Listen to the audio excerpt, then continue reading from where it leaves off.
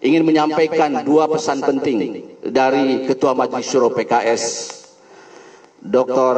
Habib Salim Segaf Al-Jupri. Yaitu yang pertama, sebagaimana ditunjukkan dalam tim kecil koalisi partai-partai pendukung Anies Rashid Baswedan, PKS konsisten menjadi bagian dari koalisi partai-partai pengusung Anies Rashid Baswedan tersebut di Pilpres 2024. Sehingga koalisi ini memenuhi parlemen uh, presidensial threshold 20 persen.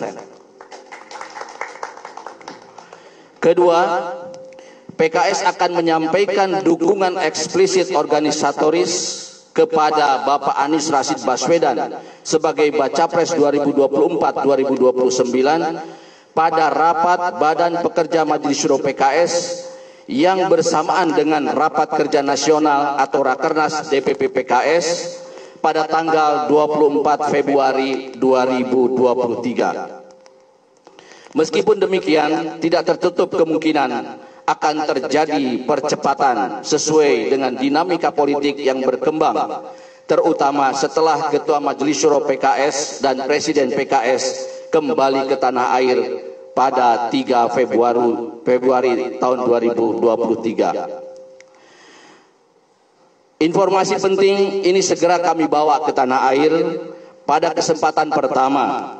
Oleh sebab itu kami tadi berangkat pada flight pertama dari Istanbul jam 2.40 take off ya.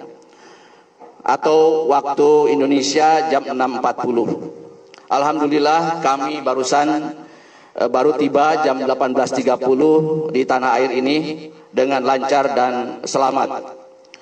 Kami ingin pesan-pesan penting ini segera diketahui oleh masyarakat secara luas sehingga memberi kejelasan tentang sikap politik PKS dan tidak lagi menimbulkan pertanyaan-pertanyaan atau spekulasi-spekulasi ke mana arah dukungan PKS di Pilpres 2024.